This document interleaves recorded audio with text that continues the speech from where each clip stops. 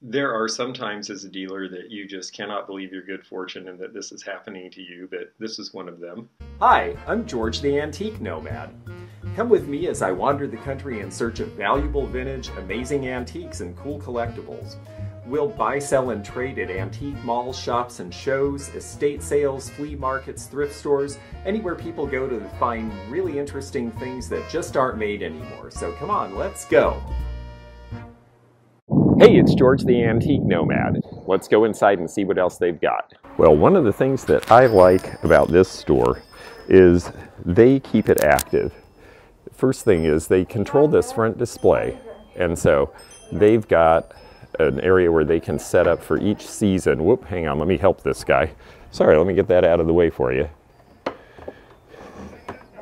You doing all right? I'm doing great. How are you? Okay, good. George, got a question. Sure. Well, the folks here are very friendly, very nice, and they've seen the channel, so it's great. I can film. And I like filming here. The one thing I think they do that's so smart that a lot of stores don't is they keep control of the very first display that you see when you come in so they can do seasonal things. So they've got a fall season here, everything from the marching band sweater from the 50s. This belonged to Don and is $24. That's actually not bad for a, an old Letterman's jacket. They've got the Bobcat, a lot of fall decor. It's nice when the store actually can make itself seem fresh all the time, and I think it's a really good idea to control your front displays personally. Here's something really neat. We are in Alabama, and while a lot of this part of Alabama was settled later, Alabama is a very old state. People started moving here shortly after the American Revolution, and actually the French and Spanish were here before that. So you're going to see really neat old things like this door here. This door set is on layaway, so I can't tell you how much they paid, but it is old and tall and looks like something you would have seen in the French Quarter of Louisiana. I would say that this could date back to the late 18th century. Bird bath for $50, that is not a bad price. People like concrete statuary and garden stuff these days. Here's a pedal car that is priced at 375. This looks like something that would have been commercially made, but I've never seen this one before. It's seen better days, but it's a pretty neat design with the VC marked on top. They also have showcases when you first come in, and showcases are great because you're going to see some better items shed away in them. But first I want to show this pickled burled walnut chest from about 1840. Again, you're going to see old furniture in this part of the country. Now it looks like the hardware's been replaced on this, but it's a neat design. Let's open the drawers to see.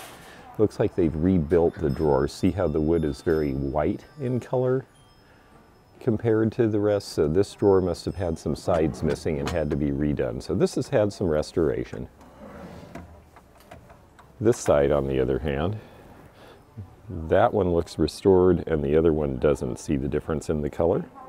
This one's got oxidation and has turned browner, and this one is still pretty white.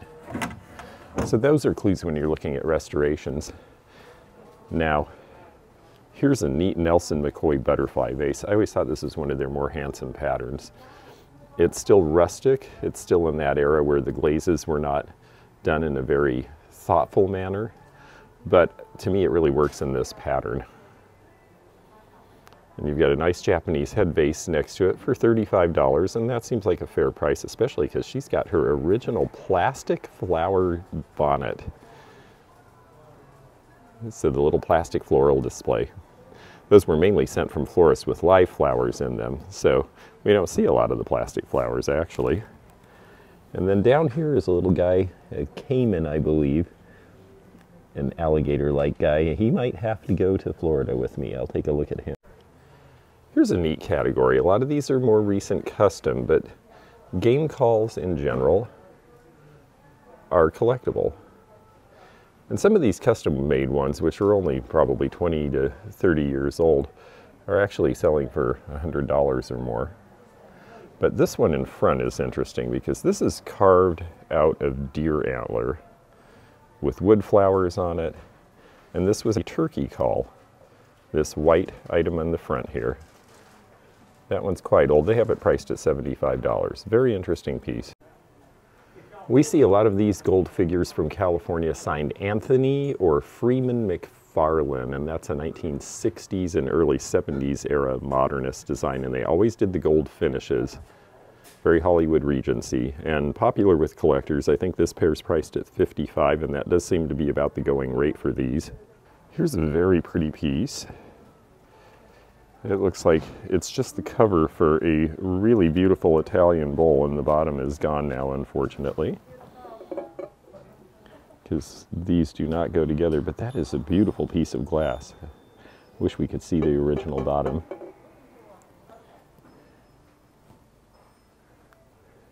This space has a fun quilt that I'll show you, and also this cute little figure, which is a piano baby under a glass dome. Someone's done a neat display with that. But right here, this I like because it's got dates on it. And it's a pattern that looks like a broken F with a diamond in the corner. I don't know the name of this pattern.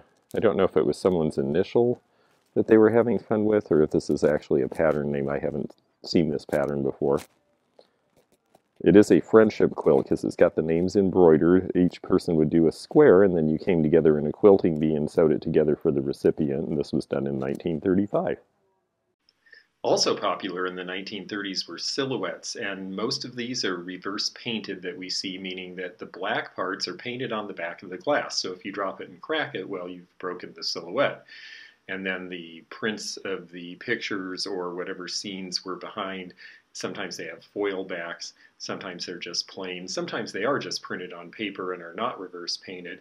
You can see in this one where the reverse painting is starting to come loose from the glass, that's why there's a variation in color. I never buy them if they're like that because you don't know what will happen to them.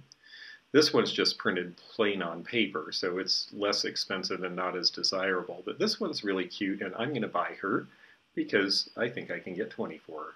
I used to see these cute little breakfast sets where they'd have the salt, pepper, and a little sauce jar. I guess they'd be used at any meal, but I used to see these a lot more often than I do now. They showed these as 1920s. I think they're honestly a little bit older than that, probably from right around 1900. The glass is milk glass, and so it's going to show fire if you get it in the light correctly, but we really can't see because we've got a cap on that one. But it's hand painted, and these little sets, this one's priced at 69. They seem to go anywhere from about 35 to 75, depending on ornateness and the type of glass. These are string holders, and these are utility ones made of cast metal, usually cast iron or some pot metal. And then the ceramic one to the right here, which is from Japan. And these are all priced in the 35 to $75 range. The better the design, the more desirable they are. But they use these in general stores as well as homes, so you do see them around, and now you know, if you haven't seen one before, what you're looking at when you find one of these. And then these are Seminole dolls. The mother and child is cute because they're a pair, and they're priced at 25 for the pair, which is pretty inexpensive, but it says the dress is as is, and I do see some stitching coming out. They look like they're 1930s. If I was handy with a needle, I'd buy that because those sell for about 25 a piece down in Florida, but I just don't think I have the ability to restore it correctly. Here's a really sweet piece that I'd love to take home if the price is right. It may not be because people know what these are. This is a cloche. Cloche is a French word for bell, C-L-O-C-H-E. And these caps were very popular for the flappers to wear because they had that jaunty style and were very streamlined. This one's been well sewn. It does have one hole in it, but it's in the neutral part at least, and it's got its nice bow. So let's see what the price is on this. Oh my goodness. It is $5. That is so cheap that I'm going to take that one. I think that's a good deal for what it is. Even though it's not in perfect condition, it's very cute. It's going to date back to the 1930s. And look at this label on the inside of this hat. California Evergreen Sport Hat, and they show the car driving through the redwoods. I think the label is actually as good as the hat. I'm definitely getting this. This is cool. there are some times as a dealer that you just cannot believe your good fortune and that this is happening to you, but this is one of them. This set of cafe ware is from the finest and most historically prized hotel in St. Petersburg, Florida. The Vinoy Hotel was built during the land boom. It's this big pink edifice. And here is a whole set of hotel china from there from the 1930s. I recognize it because they have a big display of all their china patterns over the years in the hallway. It's a wonderful place. It's definitely worth seeing if you go to that part of Florida. But $75 for this whole set. I cannot believe my good fortune. If I don't keep it, it's going to make some collector really happy. So, good score. Okay, well, we seem to have gotten into a dark case here, but this dark case is full of noisemakers, and I think they're really cute and a fun thing to show. These are from the 1950s primarily. You do see Black Americana, that's priced on the high side around 18. Latin dancers and clowns are going to be less. There's the funny people at the New Year's party. These were just really cute little cheap novelties that people used once or twice at a party and then forgot about in drawers, and now they're very collectible, between 8 and $15 a piece primarily. I wanted you to get a chance to see this. This is a celluloid makeup travel kit in the original box, and the boxes are really cool. This one's missing a couple of pieces, but it's got the mirror, it's got a lot of the other stuff. It's only $35. When they're really complete and fancy, they can be 75 to 95. Not a bad deal in the middle there. That Rainbow Cat, the green one, it's got the original tag. It's from the 1960s. It's only priced at 15, and the cats have really become pretty collectible. Everybody loves cats. Then back of them you have Josef original sprites, and these are something that you really don't see much at all. They say someone nice, secret pal, one is thank you, one says birthday. The individual ones are priced about $40 each and the soap dish at 75 but I've got to say they're, they're really not commonly found. So while I'm thinking of it, please comment in the space below here and also hit the thumbs up button to like this video. If you haven't subscribed, click the subscribe button below. Also, hit the bell below to be notified of new videos coming every Monday and Wednesday at 8 p.m. Eastern. And thank you so much for following along. Let's go back to this video. I've mentioned lately that safety razors seem to be becoming more and more popular and more collectible and are selling for prices that in many cases eclipse the old straight razors now. You can see a lot of technological changes. These come out as early as about 1913, but there's all sorts of innovations in the 30s, 40s, and 50s. And as they add different elements, they sometimes have a few models that were only around very briefly. So you'll see two that look alike, and one's $15 and one's 30 and it all has to do with some subtle difference between the two of them definitely an area worth looking into if you find these sorts of things at sales. And then here's a bunch of the Josef birthday girls. They have some of the taller ones that are more valuable and harder to find, but they have a lot of the birthstone birthday girls with the black eyes, which are the original issues, priced around $15 each, and that seems to be about the going rate on these these days. A cute, not expensive thing to collect that was really well made. Hull made the lava bows in the 1950s, and this is an example of that. It's a two-piece set. If you've only got one piece, then it's incomplete. This one's not functional. Other companies did make functional ones, but they were really just wall decorations. This is a triptych mirror from the 1920s, and you get the idea. There's three parts, two prints or some other design around a central panel. Sometimes it's three mirrors together, usually with etching if that's the way it's combined. If you're going to do a booth that mixes some repurposed and older with newer, this is a nice way to do it because the emphasis is still on the older. They've taken older farm tables and they've restored them.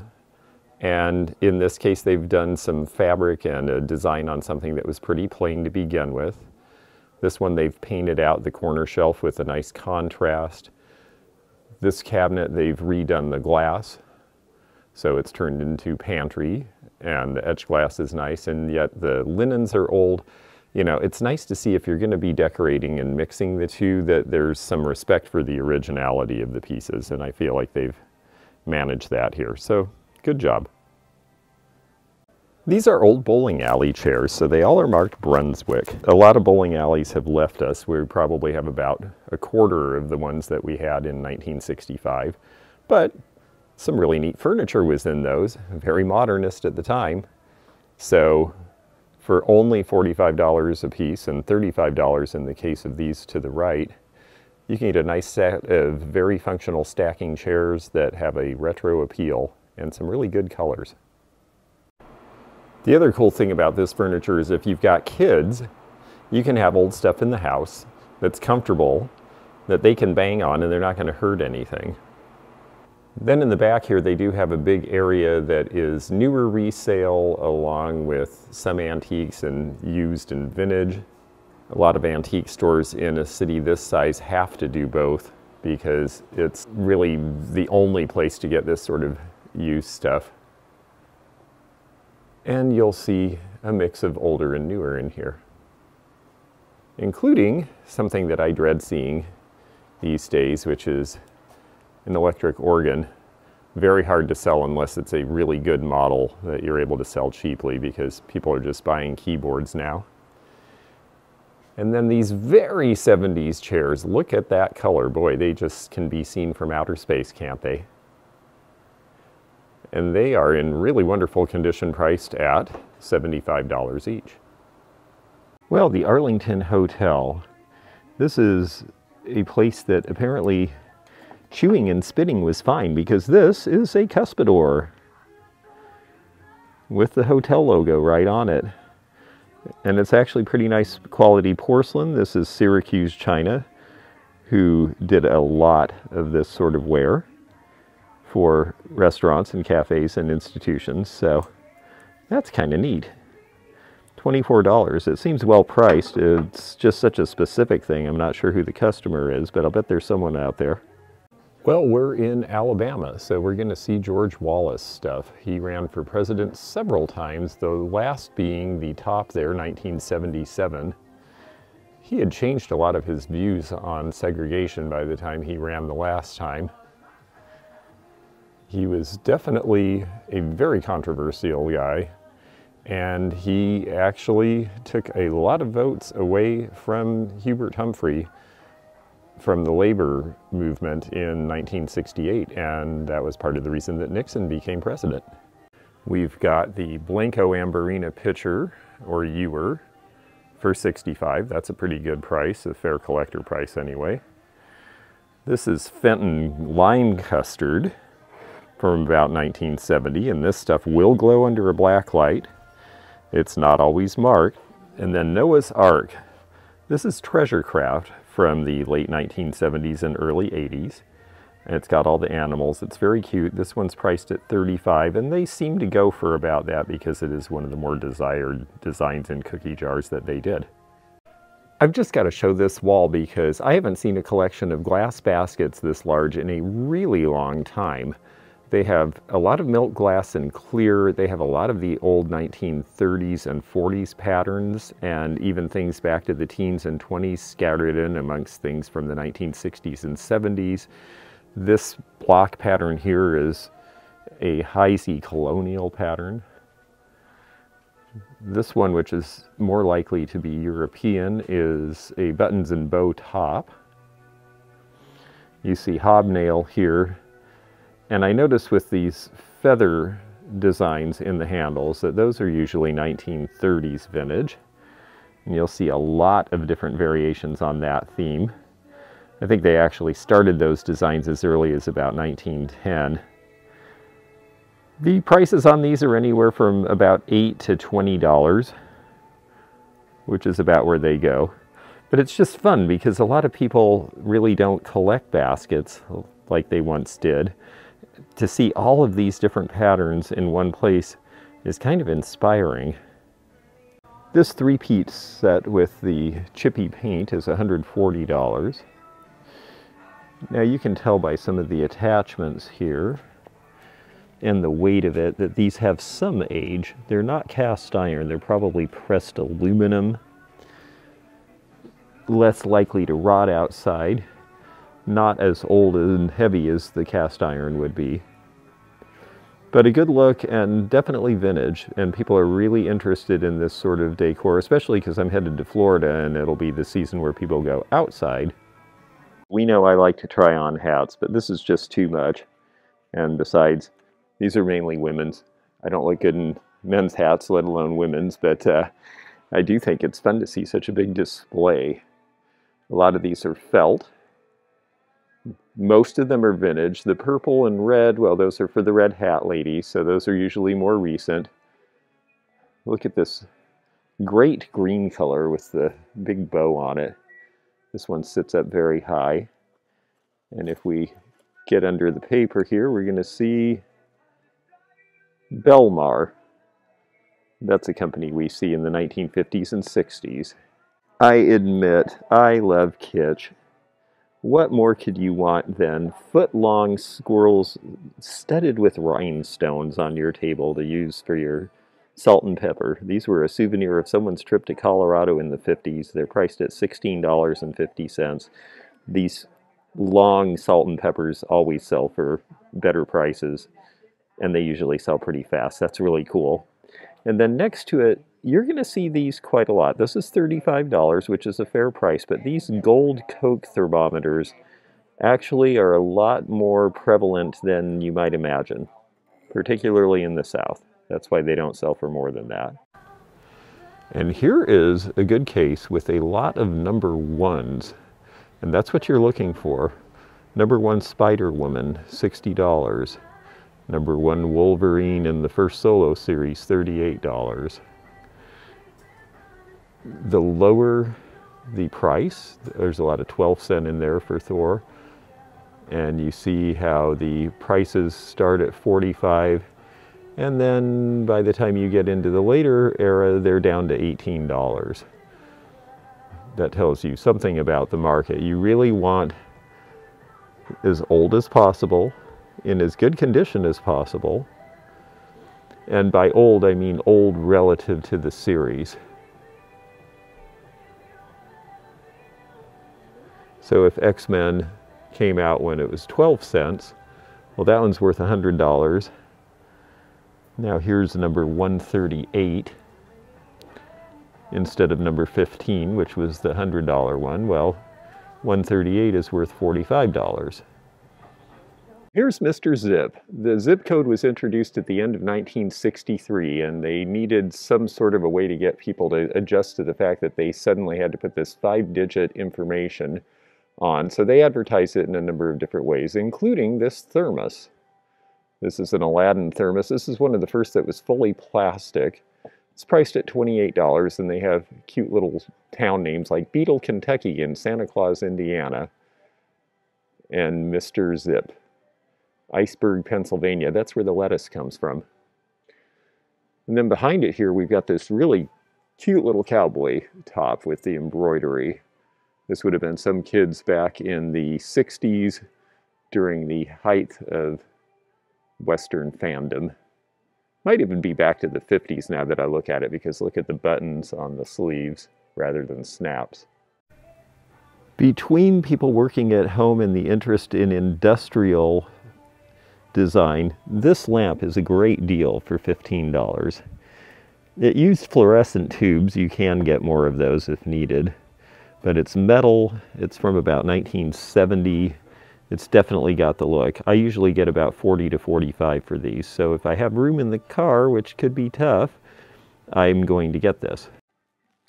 A lot of folks have seen this in the brown and green rustic colors, but this is McCoy Rustic in the pink and green. I just wanted to show this because it is an alternative that you'll see sometimes. It's got the McCoy mark.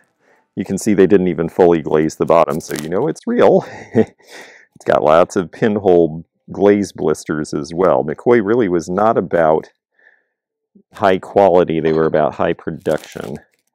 It wasn't until later in their production runs that the quality got better, but that's part of what people like about it is it looks more unfinished and hand